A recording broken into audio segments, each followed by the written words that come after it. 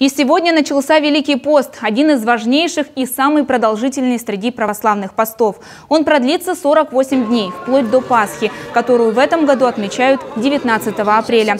В этот период верующие исключают из рациона все продукты животного происхождения, а также алкоголь. Но пост – это не просто диета. Его смысл в духовном очищении и раскаянии. Священнослужители советуют всегда помнить о конечной цели – смирение, успокоение ума, внимание к ближним. Во время Великого поста принято посещать богослужения, читать духовную литературу, отказаться от алкоголя и увеселительных мероприятий, помогать людям. Впрочем, если совсем без мясного и молочного не получается, их можно оставить в рационе в небольших количествах. Представители церкви поясняют, пост – это не наказание, а отказ от лишнего, чтобы сконцентрироваться на главном.